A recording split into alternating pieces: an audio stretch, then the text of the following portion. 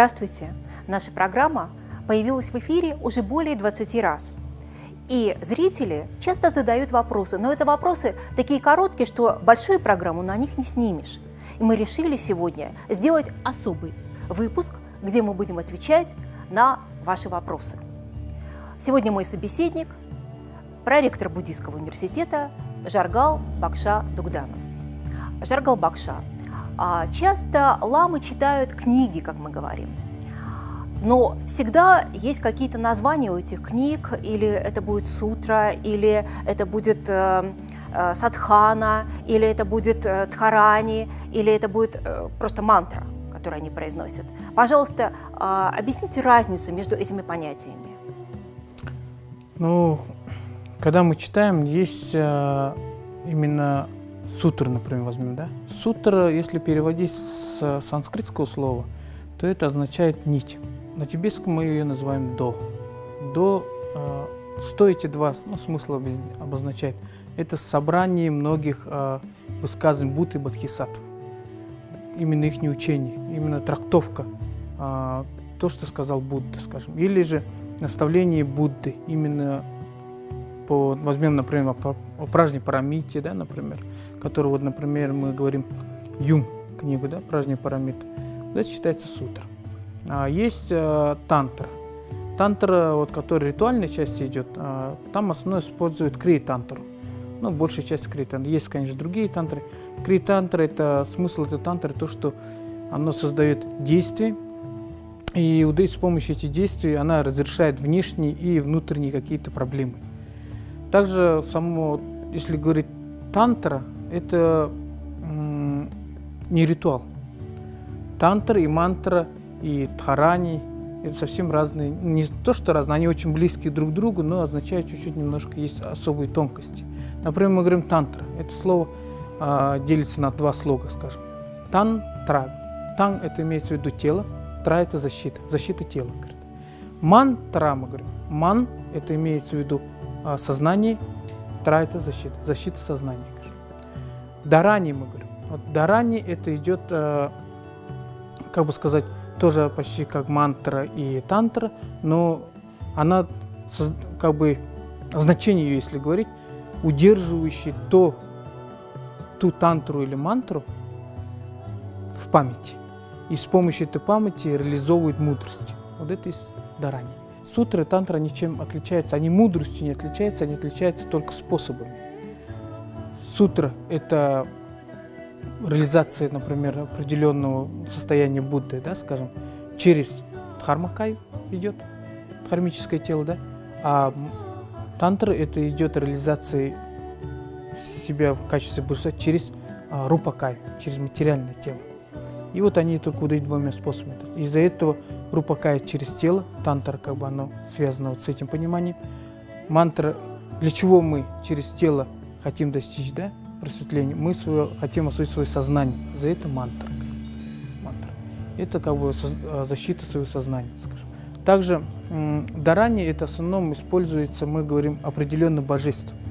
Имена какие-то божества, мы почитание каких-то божеств, мы говорим, дарани это божества. Например, скажем, дарани а, Будды, например, скажем, Манзушири, да? Там Омара Пацанатыкар. Это уже Но вы же сейчас произнесли мантру. Это мантра. Ну, мантра, ее называют зунгак. Ну, как бы сказать, мантра тарани.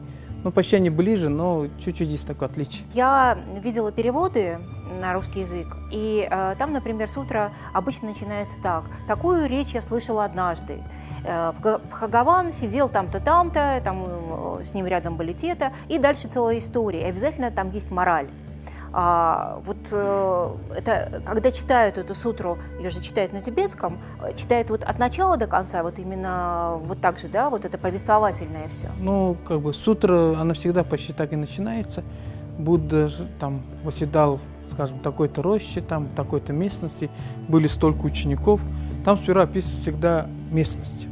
Потом э, благо Дхарма описывается, потом о чем идет речь, какое благопожелание было и оно делится на определенные, скажем, разделы. И общение идет с определенным бодхисаттвом. Или же двое бодхисаттв между собой разговаривают. Возьмем, например, э, сутру сердца, да, говорим, Ширнин мы называем. Там идет общение Шарипутры и Будда Волкачешвары. Между собой разговаривать. Что такое пустотность, как ее понимать, они вопросы, ответы такие задают. Это идет сутра. Далее у нас идет уже, а, например, тантра, она уже сразу идет, реализуя себя там, через садхану идет. Садхана это что такое? Садхана это, а, как бы сказать, умилостворение, некоторые говорят. Некоторые переводят, на тибетском мы говорим джуптап. Джуптап это способ реализации. Мы себя реализуем в качестве этого божества. Вот мантра, э, тантра основном так идет. Но мантры же все произносятся на санскрите. Да, санскрит языке, потому что мантры перевести это сложно. А, почему сложно? В эти слова, это в основном, их мы называем семена определенных божеств. Например, скажем, Ом Ахум, да, слово? Ом Ахум, ее трактуют по-разному. Кто-то трактует, что это тело, речь, сознание, кто-то э, там делит еще какие-то определенные, определенные да, значения. Эти слова перевести сложно. Это слоги определенных божеств, под ними на самом деле комментарии это несколько тысяч томов, скажем. И ее взять и перевести одним словом почти невозможно. Потому что под ней скрывается много. И они остались также на санскритском языке, как изначально было наставлено. А вот еще такой вопрос задают наши зрители. На каком языке давал учение Будда? Будда Шакимони давал, конечно, на санскритском языке, на индийском, один из четырех основных индийских, но и были использованы а, другие санскритские, э, индийские языки, но основном санскритский. Но когда он давал учение, есть достоинство речи Будды. Речь Будды, она так, до такой степени имеет а, хорошее качество, что когда он говорит, каждый понимает на своем родном языке. А когда люди делают гору в Дугане обычно в конце, вот перед выходом, стоит такой чайничек. А, мы говорим, что там находится аршан, и они наливают его себе в левую руку. Вот что обозначает это? А, расскажите, пожалуйста. Ну, как все мы уже знаем, вода имеет определенную память, скажем. Когда мы начитываем мантры, тантры, дарани, сутры, а, вот эту энергетику мы передаем воду. В этой воде как бы, находится определенная как бы, энергия этих э, мантр, скажем. Потом, когда человек на левую руку себе наливает и пьет. Почему на левую, ну, можно даже здесь объяснить. Левая более чище, чем правая.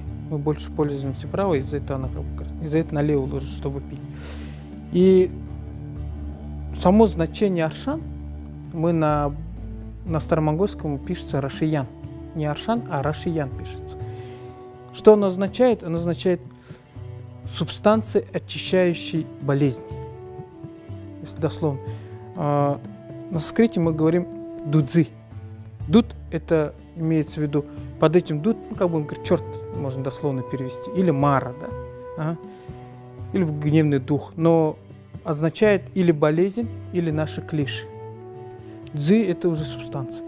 Вот эта субстанция, которая подавила вот эти болезни, и так как лекарство мы его когда мы впиваем, мы обязательно должны его понимать, что как будто лекарство мы пьем. А почему такого желтоватого цвета? Ну, желтоватый цвет это как бы считается чистый, распространенный, как бы. Ну, в буддизме желтый цвет это успокоение, символ успокоения снова. Как, э, ну, вы замечаете, да, здесь желтый основной цвет, это символ успокоения. Это идет истории со времен Будды, как бы, на самом деле. Вот вы сейчас употребили слово «клеши». Пожалуйста, а, подробнее раскройте это понятие. Ну, клеши – это, скажем, негативное наше сознание, неправильное наше мышление, а, ложное понимание. Под клеши можно все негативные наши а, побочные, скажем, ошибочные сознания можно поставить. Но кроме воды, кроме аршана, иногда бывают и э, такие урилы, мы их называем. А, я хочу, чтобы вы о них рассказали, а также вот о том рисе или какой-то крупе, которая используется на хуралах, э, ее значение тоже. Ну вот, урил. Урил – это пилюля, можно перевести. Кругленькие шарики маленькие. Но это делается из определенных трав, и ее реализуют через определенное божество, как бы ее вкладывают определенную энергию, благословение, так скажем, да. Когда мы ложим воду, она как бы становится аршаном, ну как лекарство это ложится. там в основном в урил э, ложится лекарства для пяти органов. Ну, основном. Ну, есть там есть э, дополнительные, но основные эти лекарства помогают пяти органам. Это сердце, легкие, почки, печень, желудок. Вот, вот эти основные пять. Чтобы они находились в стабильности. И когда, например, э, можно просто даже эти пилюли пить, да, урилы. Но пить имеется в виду на, или в воде его растворить, да, пить, или ложить под язык. Нельзя его проглатывать. Сразу нельзя проглатывать. Тогда он уже бессмысленно становится. Под язык или сосать его надо.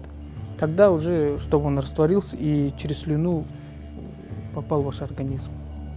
А вот э, эта крупа, которая используется на хуралах, я просто видела, когда проходят равны, потом люди собирают э, э, эту крупу, которую вот ламы таким образом э, подносят божествам, и просто говорят, что вот она тоже какая-то особая.